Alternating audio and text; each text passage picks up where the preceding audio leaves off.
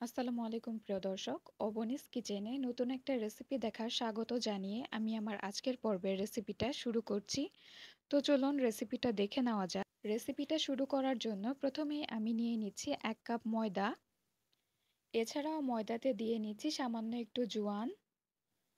আরও দিয়ে নিচ্ছি স্বাদ অনুযায়ী লবণ।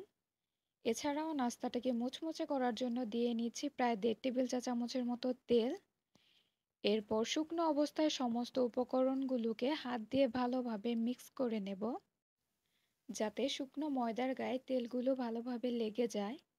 তো একটু সময় নিয়ে এভাবে ডলে ডলে ভালোভাবে মাখায় নেব। ঠিক ততক্ষণ পর্যন্ত মাখাবো যতক্ষণ না ময়দাটা এমন ঝরঝরে হয়ে না আসে। এরপর পরিমাণ মতো ঠান্ডা পানি অ্যাড করে বেশ সফট একটা ডো রেডি করে নেব।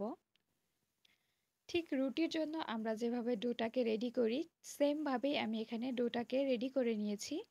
এরপর এটাকে কিছুক্ষণ রেস্টে রেখে দিয়েছি এবং আমি পুরটা তৈরি করার জন্য চুলায় ফ্রাই প্যান বসিয়ে ফ্রাই প্যানে প্রায় দেড় টেবিল চা চামচের মতো তেল দিয়ে নিয়েছি। এছাড়াও তেলে দিয়ে দিচ্ছি হাফ চা চামচ গোটা জিরে, হাফ চা চামচ মৌরি এবং হাফ চা চামচ মেথি এবং এই তেলে এগুলোকে কিছুক্ষণ ভেজে নিচ্ছি। এরপর দিয়ে দিচ্ছি মটরশুঁটি। হালকা নেড়ে চেড়ে মটরশুঁটির সাথে মশলাগুলোকে মিক্স করে নিচ্ছি। এরপর দিয়ে নিচ্ছি সেদ্ধ করে রাখা আলু। এখানে আমি মাঝারি সাইজের দুটা আলুকে সেদ্ধ করে এগুলোকে হালকা করে ভেঙে নিয়েছিলাম। এরপর দিয়ে নিচ্ছি হাফ চা চামচ হলুদের গুঁড়ো এবং হাফ চা চামচ মরিচের গুঁড়ো আর লবণ টেস্ট অনুযায়ী। এরপর একটু নেড়ে চেড়ে মটরশুঁটি এবং আলুর সাথে সমস্ত উপকরণগুলোকে মিক্স করে নিচ্ছি। আলু দেওয়ার তিন থেকে চার মিনিট পর্যন্ত এভাবে নেড়ে চেড়ে রান্না করলেই কিন্তু নাস্তার জন্য পুরটা একদম রেডি হয়ে যাবে। তো এই সময়ের মধ্যেই কিন্তু আমার ডোটাও পারফেক্টভাবে সেট হয়ে গিয়েছে। তো নাস্তাটা তৈরি করার জন্য লম্বাটে শেপের মিডিয়াম পুরুত্বের করে এখানে একটা রুটি তৈরি করে নিচ্ছি।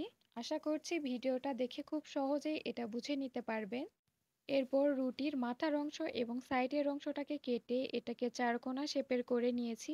এরপর এটাকে সমান তিন ভাগে ভাগ করে নিয়েছি। এরপর সমস্ত অংশে তৈরি করে রাখা পুর দিয়ে নিচ্ছি। এছাড়াও এই নাস্তাটা তৈরির জন্য এখানে আমি এক কাপ চালের আটার সাথে সামান্য একটু পানি দিয়ে একটা ব্যাটার তৈরি করে নিয়েছি। এরপর এই ব্যাটারটা এই নাস্তার চার সাইডে লাগিয়ে নিচ্ছি। এরপর হাতের আঙুলের সাহায্যে এই দুই সাইডটাকে এভাবে সিল করে নিচ্ছি।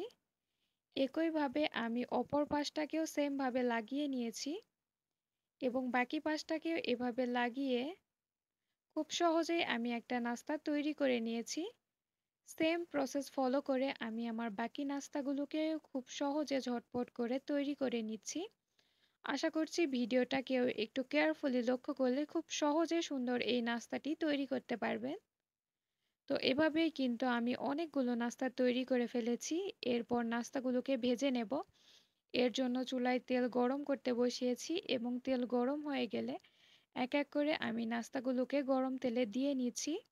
এরপর চুলার আঁচটাকে মিডিয়ামে রেখে একটু সময় নিয়ে নাস্তাগুলোকে উল্টে পাল্টে বেশ লালচে করে ভেজে নিচ্ছি। তো ভাজা হয়ে গেলে আমি তেল ছেঁকে আলাদা একটা প্লেটে তুলে নিচ্ছি। সেমভাবেই আমি আমার বাকি নাস্তাগুলোকেও বেশ ঝটপট ভেজে নিচ্ছি।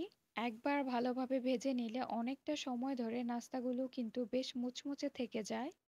তো ঝটপট করে খুবই মজাদার এবং দেখতেও ভীষণ সুন্দর এই নাস্তাটি কিন্তু তৈরি হয়ে গেল। তো আশা করছি আমার আজকের সহজ এবং সুন্দর রেসিপিটি আপনাদের সকলের কাছে ভালো লেগেছে। যদি ভালো লেগে থাকে তাহলে অবশ্যই রেসিপিটি ট্রাই করে দেখবেন। যদি ভিডিওটা ভালো লেগে থাকে তাহলে অবশ্যই ভিডিওটাতে লাইক করে দিবেন। আল্লাহ হাফেজ।